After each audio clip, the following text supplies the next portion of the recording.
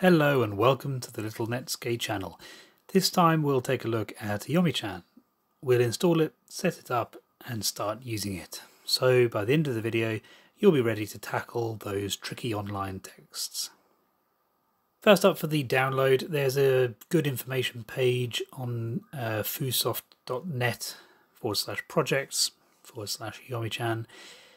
If you want more detail on the tool this is a really good place to go and by clicking on installation you can find links to the different versions uh, whether for Firefox or for Chrome. Today we'll go for the stable Google Chrome version and install is as simple as clicking the link then clicking add to Chrome in the web store confirm with add extension and then wait for it to install. You'll get an install confirmation message when it's done just like this. After a successful install, you'll also be shown a basic usage guide. We'll be going through this stuff next. Before we're able to start using Yomi-chan, we will need to set up dictionaries uh, on the extension. To do this, you simply go to the icon in the browser toolbar, left click, and then left click on the cog. For now, we'll ignore all the profile, translation and other sections and skip straight to dictionaries.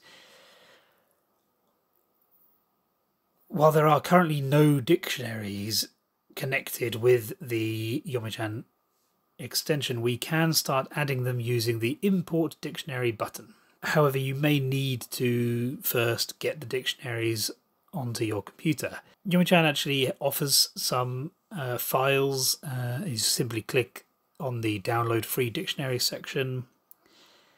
It'll take you to the FooSoft Productions website. You navigate to dictionaries and choose the dictionaries you want. At the moment, we'll download the files for the JMDict, JMNE-dict, KireiCake, and Kanji uh, dict. Once they've downloaded and added into a folder, um, you we can go back to the Yomi-chan settings and click Import Dictionaries. Navigate to where they were saved, highlight all of them and click Open. And then we just wait for them to load in. Now with our dictionaries ready to go, there's just one setting we need to enable, Anki integration. When you click enable, you get a bunch of options to set up the integration. But before we're able to do this, we will need to do a little setup in Anki as well. There's currently no deck information from our Anki program on the desktop. Yomi-chan has made this pretty simple for you. Simply click the link here and copy the long number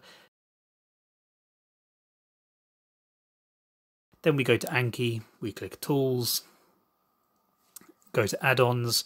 Once you click Get Add-on, you simply paste the number into the code field and click OK.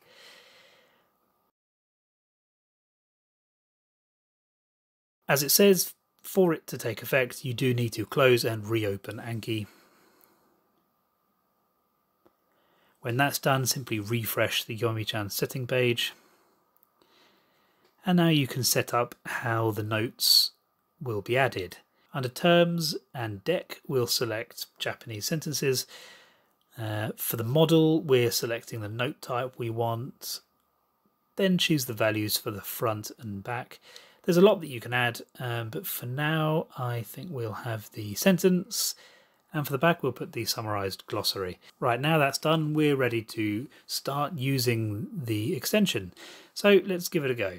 We'll test it on the Japanese NHK News website, jump into any article, choose a term to look up. Here's one, so let's look up simply holding shift and highlight the term to look up. You can hear the pronunciation by left clicking on the speaker icon in the right corner. 自粛 To add this term as a note to Anki, you click the green plus icon.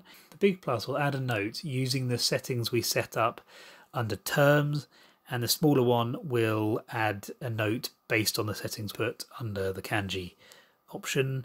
And then when you've done the adding, you can browse the note in Anki. You can make any alterations. Um, and it's very easy to find it.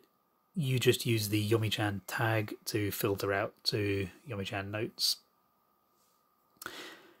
Obviously, if you use Yomi-chan a lot and you add lots of cards into Anki, this list may get quite long, so an easy way to manage this would simply be once you have got the, the note as you want it, you can simply delete the Yomi-chan um, tag out uh, and put some other more descriptive tags in place instead.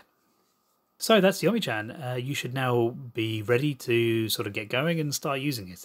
There is a little bit of setup, but it is pretty straightforward to do, and there's plenty of um, things to help and descriptions on the website and on the extension itself. Quite simply, this is an amazing tool.